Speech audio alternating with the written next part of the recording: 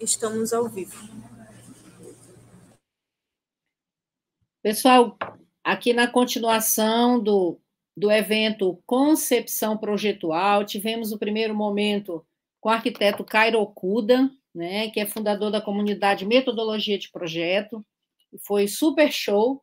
E agora a gente está com toda essa expectativa para receber aqui o arquiteto Leonardo Beltrão, da Beltrão Arquitetura. O Leonardo, que é professor né, universitário na Faculdade CEAP, nos cursos de Arquitetura, Engenharia Civil e Design, e proprietário, como já falei, do Beltrão Arquitetura, empresa atuante em projetos residenciais e institucionais. O Leonardo, eu tomo uma, a, a liberdade de dizer da minha imensa alegria. É, Leonardo foi aluno de graduação desta casa, desta universidade, e retorna aqui conosco hoje falando para os alunos, para a, as turmas da Unifap, sobre projetos, sobre metodologia, com enfoque é, um pouco diferente do, do Cairo Okuda, para enriquecer a nossa tarde, né? Então, quero chamar aí o Leonardo para entrar no estúdio. Por favor, Nelly. Agora, oi, Léo. Vou tomar liberdade de chamá-lo de Léo. É o Leonardo Beltrão. Seja muito bem-vindo aqui ao nosso evento. Né? E como nós havíamos falado que este evento tem um formato híbrido, parte é online, parte presencial, e aí no auditório, já é, cumprimentando novamente os alunos da Unifap, os alunos do CEAP. Né? Léo, é, vou passar a palavra para ti, para você fazer as suas considerações iniciais, e já vamos aqui te acompanhando na apresentação.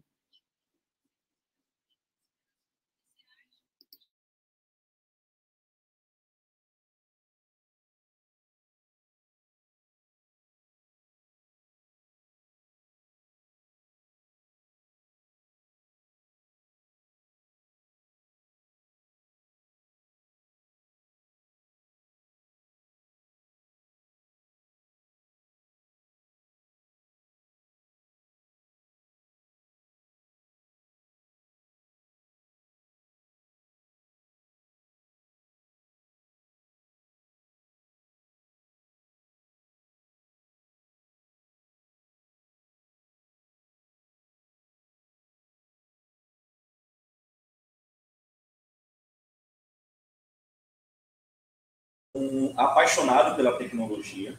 Então, a visão que eu vou trazer para vocês é, é, uma visão de integração dos parâmetros tecnológicos ao desenvolvimento do projeto. E eu acho que vai ser bastante válido, porque isso vai complementar a visão do palestrante anterior. Né?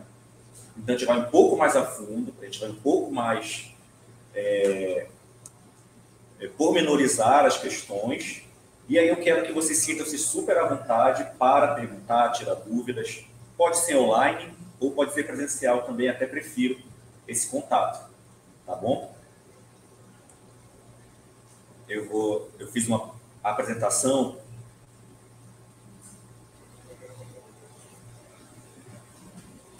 Bom, eu criei um título aqui para essa apresentação, embora o nosso evento ele seja intitulado Concepção do Projeto Arquitetônico, mas nós vamos trabalhar com uma variante tá? É, da metodologia do projeto, que é uma metodologia que nós desenvolvemos no estúdio, que faz parte também de uma experiência que eu tive quando eu iniciei o doutorado em Lisboa, que foi exatamente nós é, aproximarmos as relações computacionais à produção arquitetônica. E como que, de certa forma, existe uma necessidade massiva de aproximar as questões do mercado, do que é produzido no mercado, né, da universidade. Então, senti essa, é, esse déficit, né, eu consegui perceber isso atuando enquanto docente, dessa, desse certo engessamento metodológico é, e que não consegue acompanhar a evolução do mercado, que é muito rápida. Tá? Então, a ideia aqui é nós refletirmos sobre isso. Até que ponto nós temos desafios metodológicos dentro das disciplinas de projeto, não só nas disciplinas iniciais, mas também nas disciplinas de projeto mais avançadas, né? e como que isso poderia estar diluído dentro de uma cadeira é, conceitual da própria universidade, né? do próprio curso de arquitetura. É, e vou mostrar aqui algumas possibilidades para vocês. Não. Então, aqui a gente vai trabalhar a metodologia do projeto, e aí eu selecionei três palavrinhas que eu acho assim fantásticas para a gente poder discutir e tecer as nossas reflexões, que são conexões, que é uma, uma coisa que na cabeça da gente, é, eu percebo isso muito nos meus alunos, é difícil você conectar etapas, é difícil você, poxa, do programa de necessidades, como é que eu vou chegar na forma, como é que eu vou chegar na planta, como é que eu vou chegar em qual etapa. Então, há uma necessidade de entendimento, é, como estabelecer essas conexões. Depois, maturidade. O processo de projeto, ele é um exercício constante de maturidade projetual. Então, não adianta você fazer uma planta linda, não adianta você fazer uma, uma forma linda,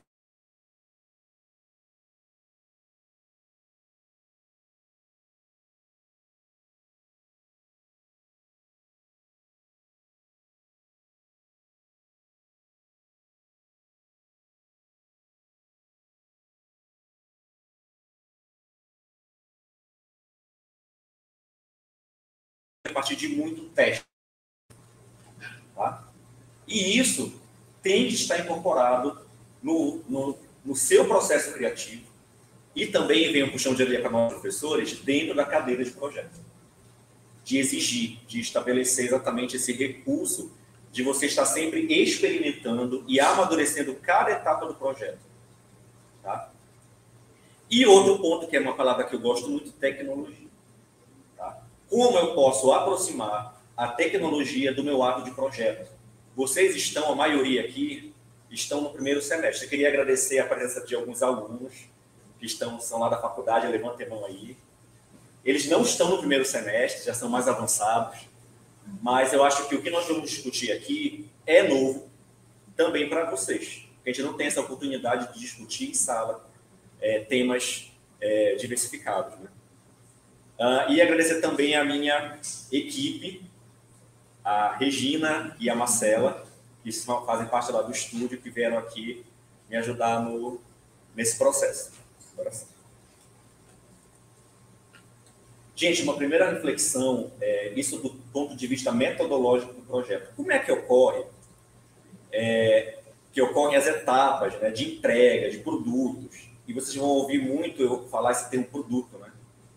Sim, eu considero a arquitetura um produto, tá? Dentro desse, dessa perspectiva, um produto, evidentemente, é, que tem uma função específica e que tem e, e que vai ter um resultado é, que deve ser o resultado esperado, dentro de uma relação contratual entre o arquiteto e o cliente, tá? Então, ela é, é, já trago uma visão um pouco mais de mercado para vocês do que é esse processo. Mas dentro de um processo metodológico, nós temos lá as etapas. Quem leu o livro aí do Laerte Neves, viu que ele divide o livro em duas etapas, né? A etapa de investigação, onde você vai coletar dados, e depois uma etapa de desenvolvimento e síntese, onde de fato você vai é, desenvolver, né? você vai trabalhar a ideia do projeto. É, existem pequenas diferenças na, no campo de atuação é, e isso foram, foi fruto, na verdade, de, primeiro, uma percepção minha é, e de alguns colegas né, que atuam no mercado, de que essa metodologia ela se modifica um pouco à medida que você, primeiro, avança na sua, na sua experiência enquanto arquiteto. Né? E segundo, o grau de incorporação de tecnologias que você incorpora no seu workflow. Né? E workflow aqui seria o nosso fluxo de trabalho, ou seja, o que de fato eu trago como ferramentas, como é, aparato tecnológico para que isso realmente gere para mim processos e parâmetros dentro do meu projeto para que eu consiga a máxima eficiência. Tá? E outro ponto que traz muito medo para os alunos de arquitetura é essa palavra eficiência. Como eu vou conseguir comprovar a eficiência do meu projeto? E aí a gente cai por terra totalmente a forma pela forma. Porque a forma pela forma, ela vai cair na, na, na seara do gosto. Não é verdade? Ah, eu acho bonito. Não. A arquitetura tem, antes de tudo, ser eficiente. E aí nós temos diversas ferramentas que vão dizer essa forma ela é ou não eficiente comparada com essa outra forma. Tá? Ferramentas que a professora Ana Elija é, domina no campo de atuação dela, na área de conforto ambiental. Ferramentas que eu domino na área de parametrização, né? que vai me dizer essa forma é mais ou menos eficiente dentro desse problema que foi proposto. Isso nas diversas escalas do projeto. Vocês vão se deparar com isso. A escala do mobiliário até a escala do urbanismo. Tá? Não, não. Né? Aí eu proponho para vocês a nós analisarmos é, o modelo 2, que é o modelo que, que eu costumo é, trabalhar, ao invés de nós é, pensarmos linearmente todas as etapas do processo, programa de necessidades, organograma, fluxograma, matriz de adjacências, e aí você vai evoluir para as ideias de partido, né? Aí lá na ideia de partido você vai, através do domínio de representações, você vai trabalhar a planta, que a gente chama lá de, de os planos horizontais, os planos verticais, que são os, os cortes, as fachadas, os planos tridimensionais, né? ou seja, um pensamento mais linear do processo, eu proponho nós pensarmos em ciclos evolutivos. E aí, no, no processo de experimentação, ele vai ser é, muito mais perceptível. Como é que funciona essa ideia do ciclo evolutivo? Então, você tem um input, vou falar muito na linguagem da computação, tá, gente? Que é uma área que eu, que eu, eu tenho trabalhado. E nós temos, seja, nós temos um, uma, um problema e nós temos que trazer um resultado para esse problema. Como dentro do processo criativo, e aí vem, eu, eu vou falar, vou repetir um pouco a fala do professor é, Cairo, né? É, criatividade não é uma herança genética, não é uma herança divina, é um método. É essencialmente um método. Que começa, para alguns, desde a infância. Né? Vem de uma herança, de uma herança é até cultural, de como é, é, ocorreu a educação, a criação daquela pessoa. Mas você consegue adquirir se você não teve esse, momento, se você não, é, não teve tanto esse contato cultural é, para se tornar uma pessoa mais criativa, entre aspas. Né? Mas criatividade nada mais é do que uma, um amadurecimento do método, né? de métodos para resolver certos problemas. Desenho, design, arquitetura, qualquer uma dessas é, diria, profissões né? ou, ou fazeres é, que exigem um certo nível de, de introspecção, de análise, de síntese, e que, vez ou outra, é tido como uma herança quase genética, ah, eu sou criativo, não sou criativo, nada mais é do que o desenvolvimento interno de um método, né, que você vai desenvolvendo ao longo da sua vida, ou se você nunca teve contato com isso durante a faculdade e daí para frente. Conheci várias pessoas que eram, assim, fantásticas no desenho, é, é, pessoas que tinham soluções arquitetônicas fantásticas, porque, de repente, tiveram uma herança, né, uma herança aí é, familiar, contato com arte, contato com cultura, contato com diversos conteúdos é, desde a infância isso foi tornou tornou-as né, naquele momento criativas.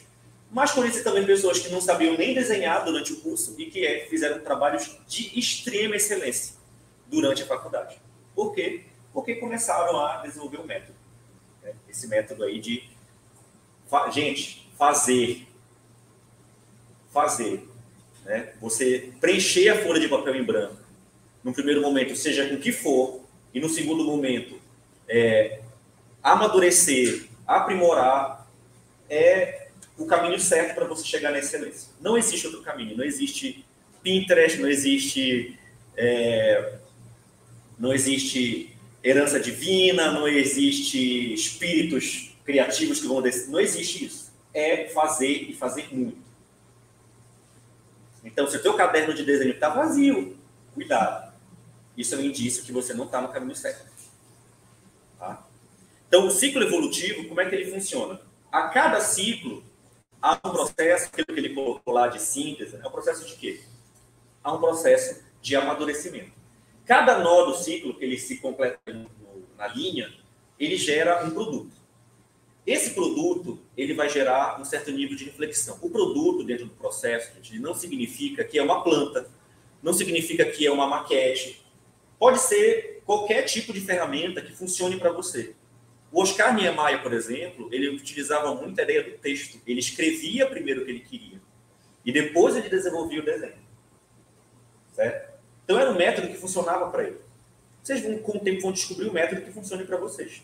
Zaha Hadid, por exemplo, usava muita ideia da morfogênese. Né? Usava muita ideia de dela pegar objetos, escanear, e a partir daqueles objetos escaneados, tridimensionalmente, ela conseguia criar formas. Né? Pegava fragmentos desses objetos e montava as suas formas. O Frank Gehry, por exemplo, utilizava maquete de papel, maquete de, de é, é, materiais mais maleáveis, e aí experimentava, a gente entendia é, como aquilo iria dialogar com o edifício, com o problema que estava sendo proposto. Então, cada método ele é específico, é individual de cada estúdio, de cada escritório né, e de cada um de vocês. É, e isso, aí vem outro puxão de orelha para nós professores, deve ser estimulado durante o curso. Não engessar os métodos, não engessar as possibilidades de cada aluno. Dentro lá da docência, quando a gente atua, né, é, eu fiz uma especialização na, nessa parte de docência, nós temos os diversos saberes. Alguns de vocês aprendem ouvindo, outros de vocês aprendem olhando. Tem gente que só olhando já aprende, é uma coisa que eu sinto muito inveja. Né? Outros já são mais sinestésicos, ou seja, aprendem manuseando, são mais táteis. Então, nós, como professores, como trabalhando na área da docência, precisamos reconhecer os diversos, as diversas formas de saberes. Tá? E a gente precisa incorporar isso durante o processo. Tá? Então, quando a gente fala em metodologia, eu, eu, e por muitos anos eu apliquei metod essa metodologia mais linear, tá? É, eu senti em alguns alunos certa dificuldade. Né? Uma certa dificuldade de estar engessado nesse processo. E quando você trabalha com ciclos evolutivos, você abre o leque para produtos diferenciados a partir de saberes diferenciados. Tá? Esse é o primeiro ponto de reflexão. Cada lâmina dessas são pontos de reflexão. Tá? Então, começo falando de criatividade porque é um parâmetro metodológico que precisa ser avaliado. Ah, eu não consigo, eu não consigo fazer. Deve ser, primeiro, porque você aprende de um jeito específico. Né? Deve ser pelo fato de você não estar experimentando. E quando eu falo experimentar, é fazer muito desenho. É muito desenho, é muita maquete, é muita experimentação, é muita proposta. Uma planta bem desenhada nunca vai ser o projeto ideal. Pô, estou me matando de fazer um desenho maravilhoso, a professora vai amar, não vai. Porque o que importa nesse primeiro momento e nos semestres iniciais é o quê? É a quantidade de experimentações que vocês vão fazer. É, são várias plantas, vários cortes esquemáticos, várias propostas. E aí, no primeiro momento, o que é que, o que, é que vocês têm que desenvolver de habilidade? É exatamente mecanismos de representação, primeiro, que não sejam tão demorados, para que vocês consigam maximizar os, os, o processo de experimentação. Tá? Aí são cortes esquemáticos, são plantas esquemáticas. E aí, quando aquilo está ok, vamos passar para a próxima etapa, aí sim você exercita corte, fachada, num desenho mais técnico, do que eu costumo chamar de produto contratual. Gente, a planta, como a gente conhece, que é detalhe, detalhamento técnico, é um produto contratual, é a última etapa do processo. Desde o desenvolvimento. Dentro de um escritório, a gente começa a fazer o quê com o cliente? Começa a fazer um briefing, que nada mais é do que entender o cliente e entender o lugar. Aquilo que o professor colocou anteriormente.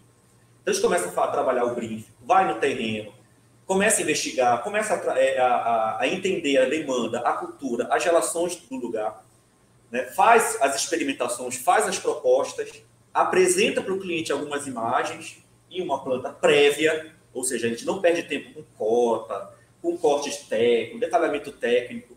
Só depois que o cliente dá aquele ok bacana, é que você começa a desenvolver o detalhamento técnico. E eu vou contar um segredo para vocês, gente. Geralmente, quando vocês forem montar o escritório, não serão vocês que vão desenvolver o detalhamento técnico. Serão os colaboradores. Aí, Regina, te amo. Tu mora aqui, tu mora aqui no meu coração, ó, desse lado. Tá? Então, por quê? Porque dentro de um escritório existe um, um, um processo, e viver de arquitetura, gente, aí depois eu vou falar um pouquinho sobre isso, exige equipe. Exige equipe. Não, não tem essa. Ah, você é um, um arquiteto freelance. Beleza mas tu vai fazer parte de uma equipe. Certo? Parte de um processo de projeto. Depois a gente vai entender um pouco mais essa complexidade, por que eu afirmo para vocês que viver de arquitetura exige equipe. Próximo. Próxima reflexão, a natureza do repertório. Tá? E aí eu tenho aí eu tenho uma reflexão bem legal que é a episteme e a técnica? Que são o nível de repertório, o nível de leitura que eu tenho que ter para eu ser um bom arquiteto. Olha como é injusto, né, para a gente na área de arquitetura, o que a quantidade de conhecimentos que a gente tem que desenvolver durante e fora da faculdade, porque senão, gente, vocês não vão parar de estudar. Cada projeto é às vezes, às vezes, ah, eu vou, vou fazer um projeto de uma praça. Eu vou fazer um curso, vou fazer alguma coisa, vou procurar referências se, se eu nunca fiz um projeto de uma praça. Entende? Então é uma atualização constante. Ainda mais se você trabalha, como o nosso história trabalha, com uma diversidade de projetos. A gente não faz só residência. A gente faz projetos, é, projetos de. É, já trabalhei com projetos é, de urbanismo, já trabalhei com projeto de praça, já trabalhei com projeto de escola, de UPA, de casas. Os últimos projetos que nós fizemos aí, lembra, Regina? Praça, uma praça Mazagão, nós fizemos uma a Casa do Autista, né, Casa do Autista. Então, são projetos. Já fizemos fachadas. Então, uma variedade vasta de projetos. Tá?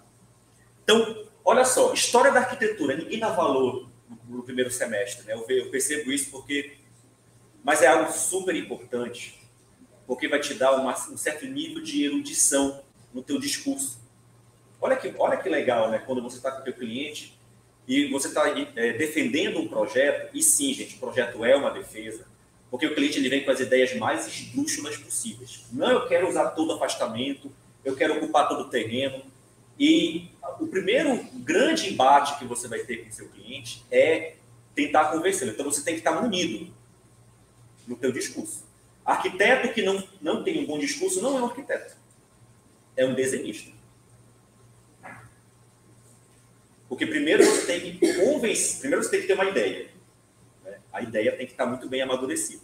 Segundo, como é que eu vou convencer nessa, nessa proposta que essa é a melhor proposta do cliente? Porque eu fiz todo o processo de amadurecimento, fiz teste, fiz várias simulações e eu acredito piamente que essa é a melhor proposta do cliente. Aí vem o processo de quê? De convencimento. Porque o cliente é leigo, gente. O cliente, ele ouve o pedreiro. A maioria dos clientes, eles ouviu primeiro o pedreiro para depois contratar um arquiteto. Porque o pedreiro falou o seguinte: tu precisa aprovar o alvará da tua obra. E para você aprovar o alvará, você precisa de um arquiteto. Então veja, primeiro grau de convencimento que eu vou ter aqui é, ei, ei cliente, eu não sigo só para você tirar um alvará. Certo? O que, que vai te dar respaldo no discurso? que, é, que eu acredito que é a parte mais importante, que vai te auxiliar na venda. Se tu não é um bom vendedor, tu não vai sobreviver muito bem na, na área da arquitetura. Tá? Então, o que, é que vai te dar respaldo?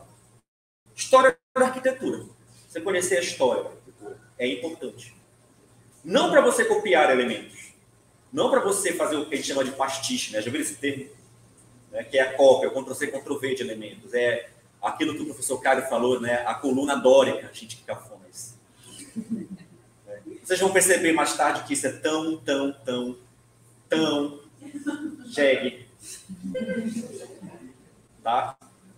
Vamos evoluir nisso. Teoria da arquitetura, que é diferente da história. Tá? É outro ponto interessante para você é, alcançar esse conhecimento para gerar um todo repertório de discurso, de convencimento. Depois, comportamento. Sim, a gente precisa entender o comportamento do nosso cliente, né? precisa entender o comportamento para que a gente consiga projetar e também convencê-lo daquela proposta. E a percepção? E quando falo percepção aqui, gente, é uma visão mais biológica do processo de, de percepção. É como as pessoas se movimentam, quais são os ângulos de visão. É quase uma questão ergonômica, se é que vocês me entendem. Né? O mecanismo biológico, como é que as pessoas se movimentam. Porque o espaço define comportamento. Se vocês acham que não, esse edifício aqui define o comportamento de vocês. o padrão de circulação, o padrão de interação, o espaço, e aí na sintaxe, sintaxe espacial, é, não sei se vocês já tiveram contato com esse tema, ele fala exatamente isso. Espaço define comportamento. Então, se eu quero estimular um comportamento de interação, o caminho do projeto é. Se eu quero estimular um espaço de introspecção, o caminho de projeto é outro.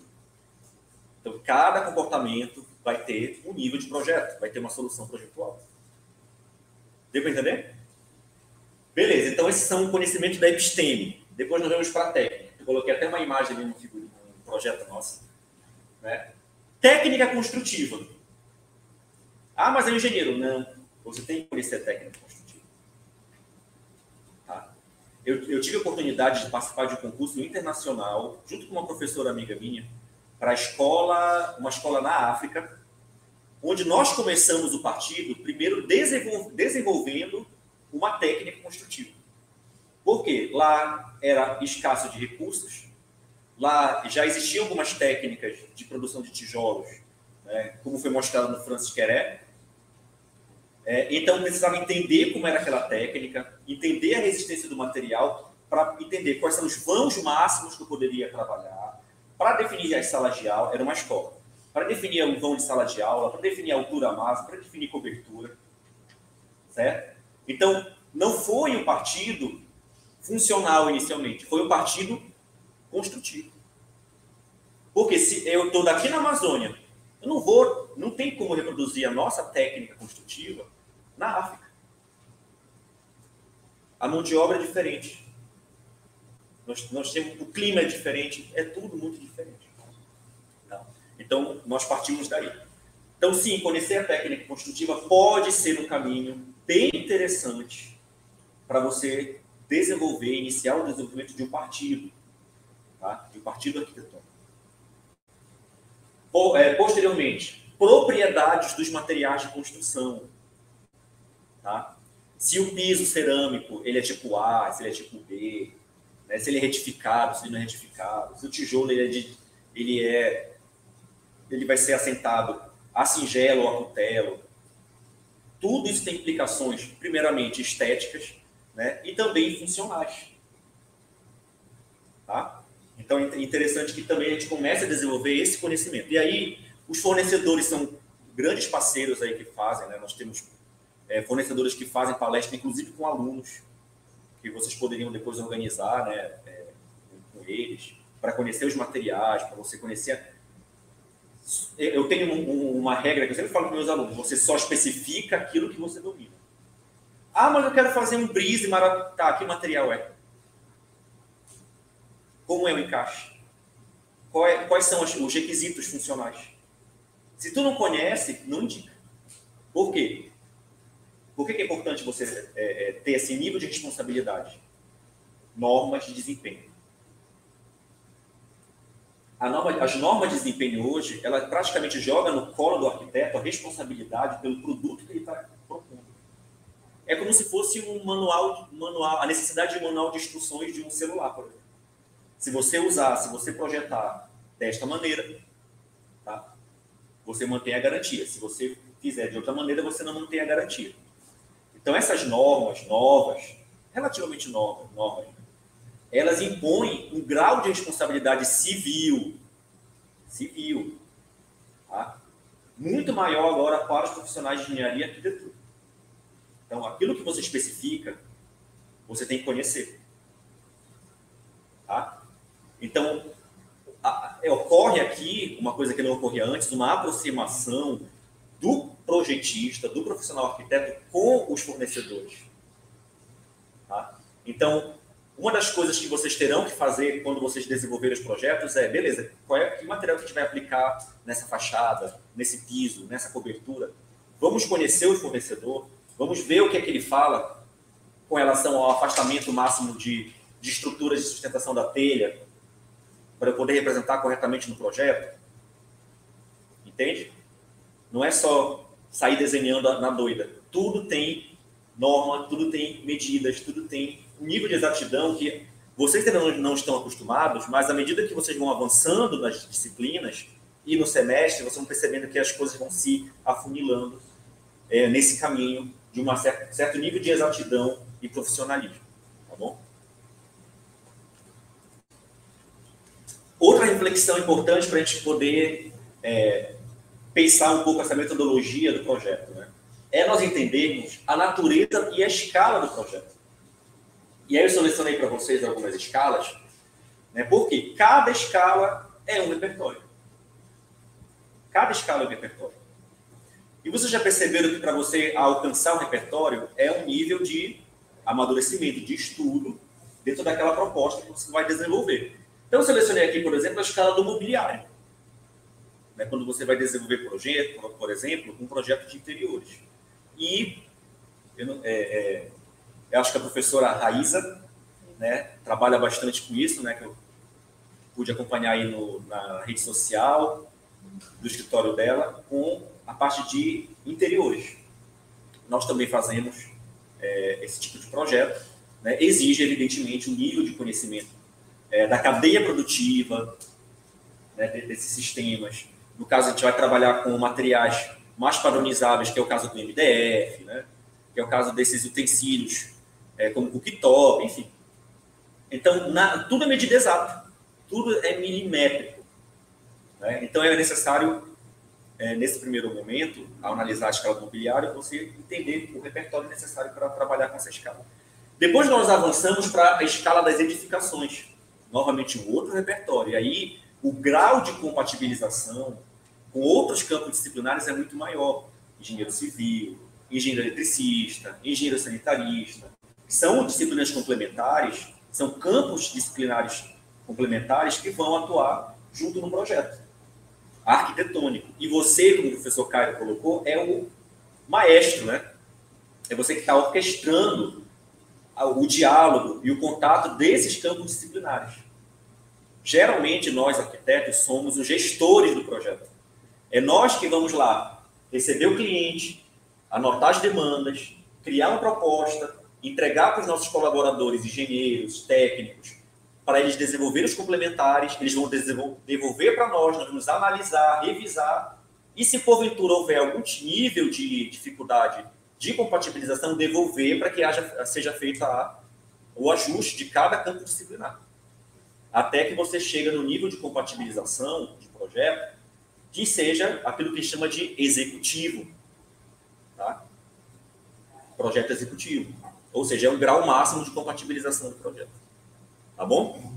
Depois nós temos o desenho urbano, outro nível de, de repertório. Né? Aí já tem que conhecer um pouco mais sobre botânica, um pouco mais sobre.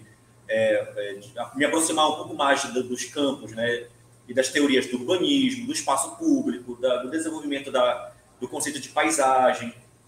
Ou seja, são repertórios que não vão ser tão relevantes nas etapas anteriores, mas que nessa vai ser. E por último, o sistema de espaços livres. Né? Nós temos outras, nós temos jardins, por exemplo. Né?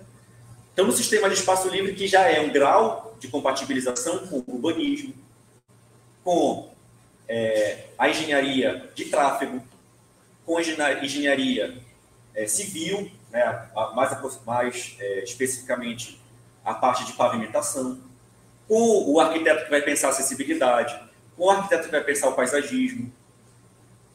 Quanto maior for a escala, mais será o contato você, entre você e outros profissionais, porque o nível de complexidade e de interação trans e interdisciplinar é muito grande. Certo? Vocês têm alguma pergunta, gente, para fazer aí sobre esse tema?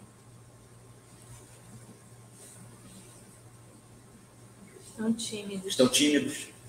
A gente vai já acabar com essa timidez. A gente vai já acabar com essa timidez. Gente, eu trabalho na, lá na faculdade com uma coisa que é fantástica. Meus alunos sabem, que é o famoso constrangimento. Cara, é a melhor coisa que tem para quebrar a timidez. A gente constrange geral. Próximo. Gente, outra, outra reflexão que a gente vai chegar um pouco mais na, na tecnologia, tá? Nós vivemos na história da arquitetura mudanças, primeiramente é, técnicas, né?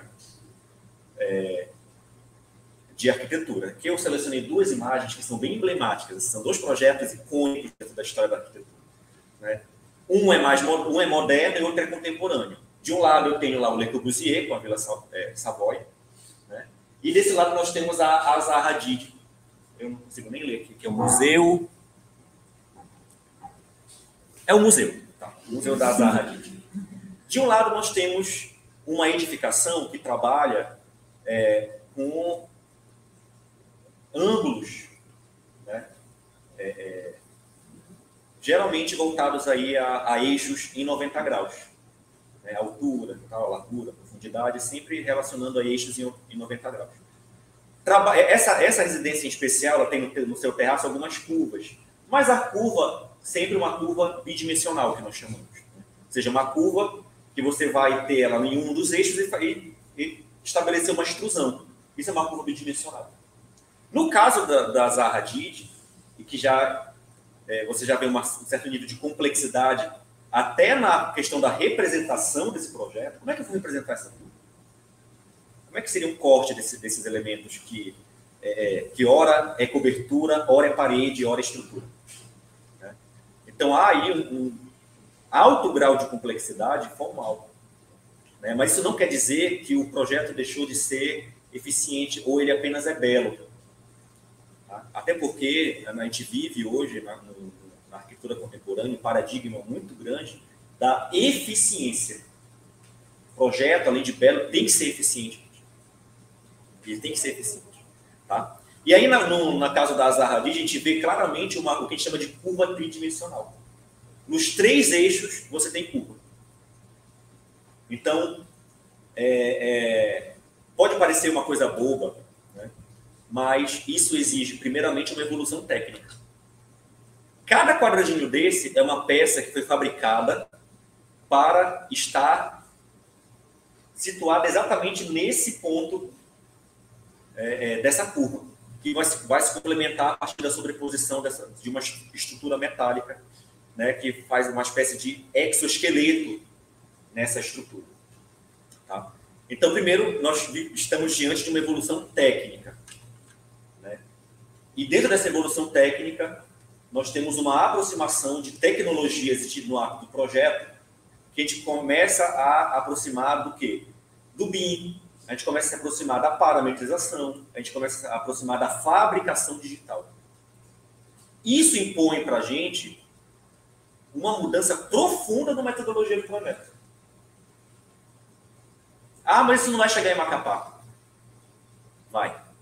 Gente já começa a ver algumas experimentações, principalmente voltadas a objetos, a uma, a uma divisória, a um pavilhão, né? paramétrico, por exemplo. Então, sim, gente, isso, não, isso vai ser logo, logo uma realidade é, na nossa região, inclusive. A partir do momento que a gente começa a trabalhar high-tech e low-tech, que é uma outra discussão que a gente vai colocar aqui. Próximo. Reparem, peguei o, mesmo projeto, né, os mesmos, as mesmas obras, e mostrei para vocês, para mostrar para vocês aqui, como a representação é, é, ela muda também. Então, de um lado, nós temos aquilo que a gente tem é, costumeiramente trabalhado na, na faculdade, que são as plantas, os portes, na é verdade, as vistas, que é, é que são as vistas ortogonais. Né? É como se você tivesse um modelo, fizesse corte nesse modelo e aí você conseguir, é, conseguisse gerar projeções ortogonais para que isso possa ser melhor lido numa etapa de obra, por exemplo. Tá? No segundo modelo, nós temos o modelo de construção. Desse modelo de construção, automaticamente, claro que não automaticamente, mas desse modelo de construção, eu vou ter elementos que serão levados diretamente para uma produção em indústria e montados no local. Eu não vou ter gerado planta, corte e fachada desses elementos. Eles vão simplesmente do ambiente computacional para a fabricação. É o paradigma da fabricação digital. Então vejam como muda, inclusive, o aspecto da, da documentação. Né? Enquanto no primeiro momento a documentação ela é aquilo que realmente a gente conhece, costuma desenvolver na faculdade. Tá? No segundo momento, é algo muito é, complexo, né?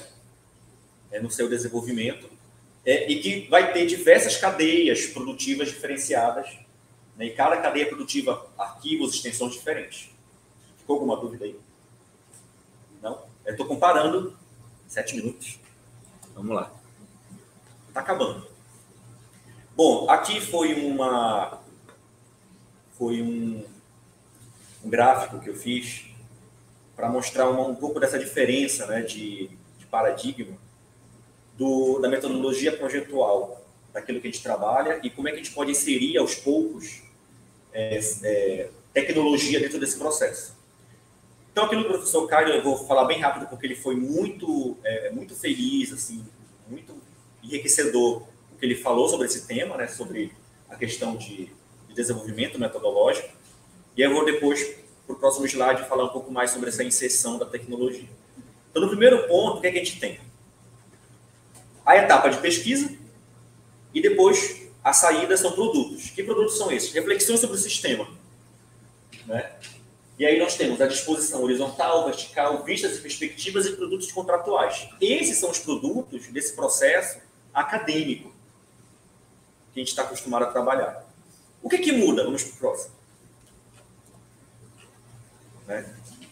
Aqui foi um, um esqueminha que eu fiz para a gente entender é, como que de fato isso evolui dentro do processo de projeto na nossa cabeça. Eu quis, olha, na cabeça funciona assim. Então, a gente tem lá o terreno, nós temos as condicionantes, não dá para ver direito, mas tem lá a simulação do vento, né, do norte. Aí nós temos a inserção do programa no terreno, como esse programa ele vai se articular em termos de circulação, na próxima imagem. E aí vamos evoluindo, pode passar, até nós chegarmos nos aspectos mais construtivos e materiais do processo, né? E a gente chega, pode, pode passar, na etapa final, que é a proposta é, da, daquela habitação, daquele projeto. Tá? Amanda, pode se aproximar aqui para as pessoas ouvirem, pelo menos? Bom, é, Isso. Se aproxima aqui por favor. Não, não tem problema. Vem cá. Não precisa nem aparecer, só coloca a tua, tua voz aí, se não quiser aparecer. Ah, okay. Na sua filosofia arquitetônica, qual o mais importante? A função, a beleza, a estética ou o conceito das coisas? Pergunta legal. Eu posso, eu, eu posso deixar para responder Pode. no final? Tá. Vamos lá, próximo. Bom, aqui é uma proposta é, daquilo que eu enxergo como uma metodologia é, projetual mais integrada com a, as tecnologias né, e os processos computacionais. Então, no primeiro, nada muda no processo de pesquisa. Então, todo, todas as requisitos né, de entendimento do que é o cliente, do que é o terreno, é, do que é o programa, dos pré-dimensionamentos e, do, e das questões ambientais, isso não muda, porque são dados de input né, são dados de entrada, ou seja, você necessita dessas, dessas referências, você necessita desses elementos para criar o teu partido. Né? O produto final que a gente vai ver lá do outro lado, ele vão ser o quê? Já não vão ser mais representações bidimensionais. Serão modelos, né? Então a gente tem modelos de representação, modelos de informação. Eu vou falar e, não vou falar o e, vou falar o ou, tá? Porque nem sempre serão todos os modelos. Porque a gente vive ainda num momento de transformação, de transição de processos de projeto. Tá? Então, aqui, modelo de representação que a gente está acostumado a trabalhar. Né? É uma maquete, é uma planta, é um, enfim. Depois a gente vai ver no, próximo slide cada um desses modelos. Depois nós temos o modelo de informação, o modelo de programação e o modelo, ou né, o modelo, é, repetir o modelo de programação ali, de fabricação, tá? que é outro modelo, repetiu ali. O processo de partido aqui, gente, ele vai ser cíclico, a partir de simulação, ou seja, eu vou testar a, minha forma através das ferramentas. E nós temos diversas, diversas possibilidades, inclusive ferramentas online, que você joga lá o teu projetinho, ele faz o teste e você verifica se o padrão de ventilação está ok, se o padrão de insolação é melhor, se o padrão de circulação ele vai ser eficiente. Nós temos, por exemplo, no Revit, vários, vários plugins de simulação energética, para você entender se há uma eficiência energética de acordo com o material que você está escolhendo, né? se aquele calor ele vai passar para dentro de um ambiente de uma forma mais rápida ou mais demorada. Então você consegue simular hoje com muita facilidade. E dentro do processo de simulação, retroalimentar o teu conceito. Retroalimentar o processo de projeto. Ah, não ficou tão bom, vamos voltar. Então percebam, a resposta não é apenas formal. A forma não ficou bacana. Essa planta não está tão legal. Essa circulação, ela é também programática e também é, é, é muito mais científica do ponto de vista é, dos parâmetros que você escolhe como importante para funcionamento daquela edificação. Se é energético, se ele é ambiental, se ele é funcional, se ele é do ponto de vista da movimentação.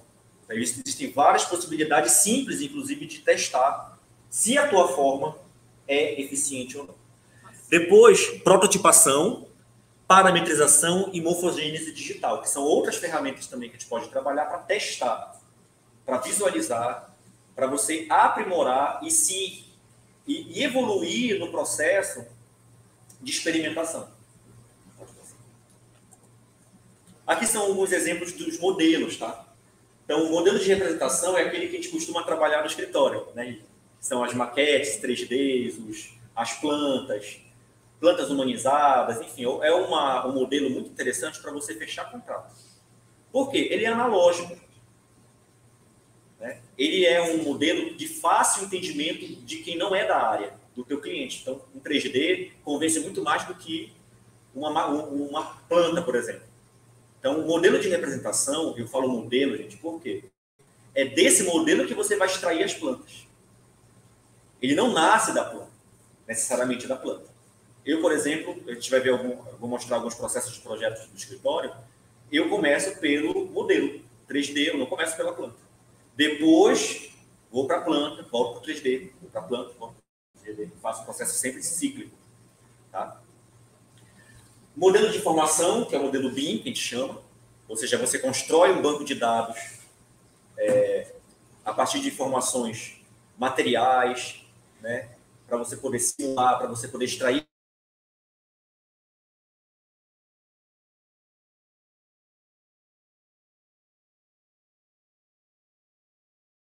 fabricação é, que é posterior ao modelo de programação. Pode passar, está acabando. Eu vou pular essa parte, que ela gera uma discussão muito grande e o tempo não tá, não vai ajudar muito.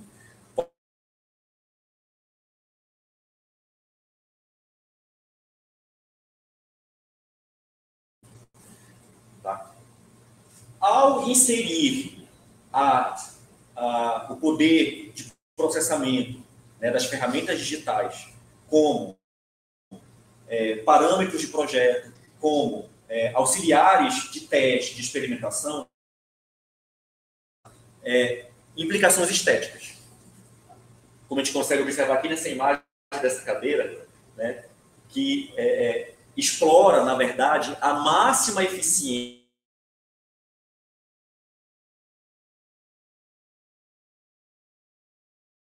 não, gente. A, a inserção da computação ela não torna a arquitetura mais muito mais estética, né, ou muito mais é, bela. Na verdade, ela trabalha muito a ideia de criar um parâmetro e explorar o máximo de eficiência desse parâmetro. Nesse caso aqui desse, desse projeto, é diminuir ao máximo a quantidade de material e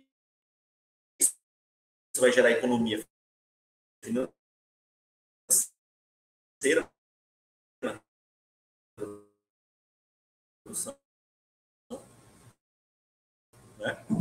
e ter o máximo de eficiência.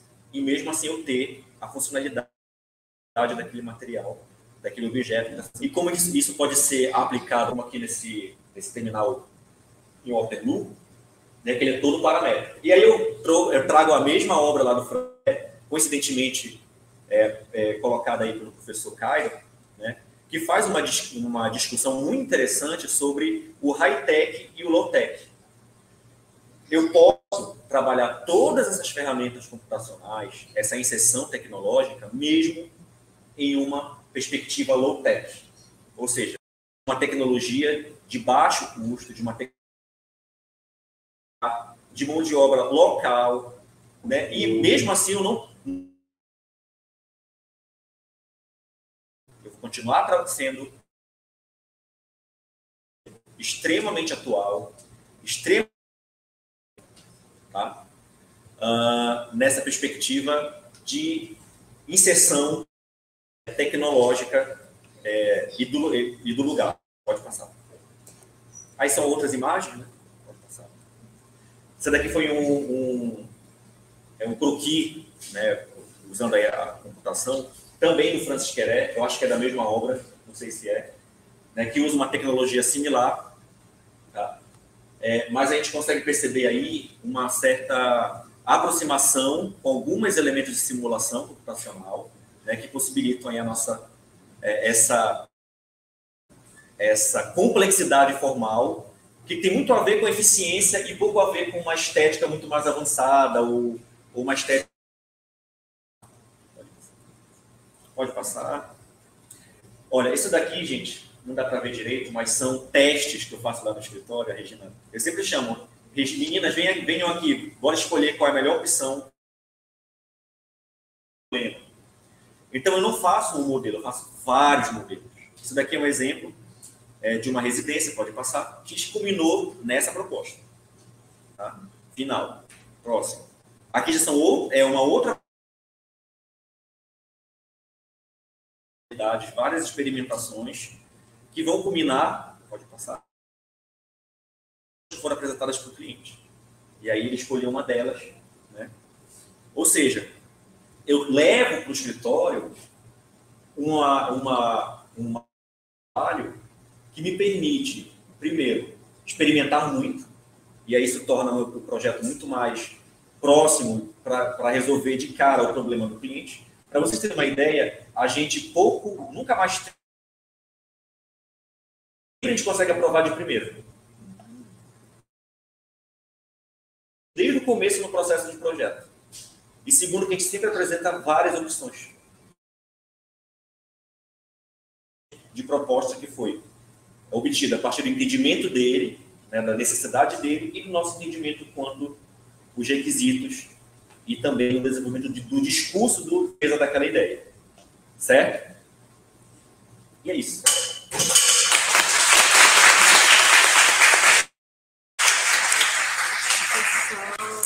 adicionar a Karina em transmissão. É, responder a pergunta, né? Isso.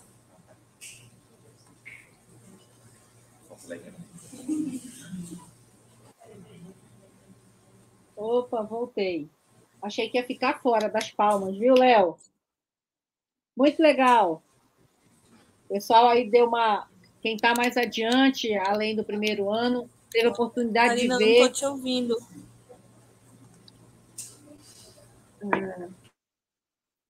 Será que é aqui? Eu estou com o áudio aberto e ouço vocês muito bem. Agora, agora. É porque está falhando, tá? De vez em quando o áudio é cortado. Então, parabenizar, Leonardo, você pela palestra. Muito legal, deu para o pessoal é, ir um pouquinho no raciocínio do que o Cairo Okuda falou antes, da mais-valia colocar valor em todo esse processo, que realmente não é um processo simples e a tecnologia que você mostrou aí te permite com que você faça mais experimentações. Tem uma pergunta aí é, na tela da Giovana Dutra, que ela fala: acompanhe o seu escritório. Sei que vocês utilizam o Revit. Você acha que esse software pode limitar o desenvolvimento da concepção criativa? Em outras palavras, você acha que confere rigidez aos traçados? Responde a Giovana. Giovana, é... existe, existe toda essa mística né, é, sobre a inserção do BIM nos escritórios, porque ele tem, ele tem algumas ferramentas, de fato, é, que permite você gerar certo nível de automação dentro do processo de projeto. Só que vamos lembrar, gente, que ao, quando você vai chegar no modelo, não te exime de, de não te exime de desenvolver um partido, não te exime de, de aprimorar e de experimentar correlatos. Então, de fato, ele vai te encurtar o tempo de desenvolvimento das representações, mas de forma alguma ele vai atrapalhar o processo criativo, até porque ele, ele não necessariamente vai estar presente no desenvolvimento do processo inicial do projeto. Até porque, é, é, pelo menos lá no escritório, quando a gente vai para o Revit, a gente já vai com a solução pronta. E essa solução pronta ela foi é, feita a partir de outras plataformas, de outras ferramentas, de outros processos de experimentação. E lá no Revit já é um pouco mais, é, eu diria, burocrático você ficar fazendo muitas mudanças. Tá? Agora sim, ele é muito bom para simulação, ele é muito bom para você é, criar banco de dados. De, de, então, é, é para uma etapa posterior do projeto. Eu acho que, é, para finalizar aqui a resposta da Giovana, é, eu acho que é interessante é, a gente entrar um pouco no, na discussão das etapas do projeto, das etapas normativas do projeto. Vamos lá. Quais são as etapas normativas do projeto? Estudo de viabilidade. Primeiro o levantamento. Né? Então você entrega um levantamento. É um produto normativo. É um produto contratual. Depois, estudo de viabilidade. Depois, estudo preliminar. E aí você pode fazer planta à mão, desenho à mão, enfim, maquete, fotorrealista, o que você quiser, para convencer o teu cliente, porque é nesse momento que você vai convencer o cliente. Depois, anteprojeto. Já são as primeiras peças legais para você aprovar alvará, para você aprovar financiamento. E depois, projeto executivo. O Revit, ele entra onde no nosso workflow? No anteprojeto e no projeto executivo. Ele não está, pelo menos no nosso escritório, na etapa de desenvolvimento anterior a isso. Tá bom? Então, não, de forma alguma, ele limita nada, zero, limita zero criatividade. Inclusive, ele é uma ferramenta incrível né, é, nesse processo aí de desenvolvimento. Ah, tu pode responder. Ah, eu vou responder a Amanda. Amanda, que ela perguntou sobre o que é mais importante, né? Tudo é importante. Tudo que tu falou é, é o desenvolvimento do conceito é importante. Como eu falei, é, é, é importante a gente, a gente pensar o projeto de forma integrada. Primeiro, integrar. Processo de projeto integrado. Não tem essa de, ah, programa. É tudo, é, tudo é cíclico, gente. Tudo é cíclico. Tá? E tudo vai gerar um produto que aquilo te agrada ou não te agrada. Ah, não, não, não, tá, não responde bem ao problema. Volta. Ah, não passou na simulação. Volta e melhora, volta e melhora. Então, tudo é cíclico. Tá? Então, nesse processo, o amadurecimento do conceito, do partido, ele vai acontecer querendo ou não né, de forma, de forma assim, inevitável. Então, o conceito, uh, o partido, o programa, a planta, o modelo, ele se constrói ao mesmo tempo e de forma cíclica. A gente é, verifica isso na faculdade por etapa, porque nós temos que ser didáticos. Olha, gente, a etapa é, é essa, você vai entregar isso. A etapa é essa, você vai entregar isso. Mas na vida real, é cíclico e constante. Bom, Aqui no YouTube a gente não tem mais perguntas. O auditório gostaria de fazer alguma outra pergunta? Bom, então, Karina. Leonardo Beltrão, super obrigado pela participação. Eu não vou passar da categoria de prof para o resto da vida. É assim que é construída a nossa relação, com muito respeito e, sobretudo, com muita admiração pelo arquiteto que você se tornou. Você é, para mim, realmente um grande orgulho de ter saído desta casa e ter chegado aonde está. Assim, super obrigado. A gente vai, da mesma forma como a gente fez ainda agora, sair do YouTube, entrar de novo pelo outro link e registrando aqui a, a, a participação da professora Cláudia Nascimento, da Universidade Federal de Roraima. Daqui a pouco a gente vai mostrar, está aqui com os alunos assistindo. Então, você também está sendo assistido lá em Roraima. Então, vamos lá, pessoal, para o outro link. Já vou chamar o nosso outro convidado. Agora vamos lá para o Lohan Trouxa. Vamos já chamá-la. Fazer uma selfie. Pode fazer. Já entrando na outra sala, Meli, vou sair.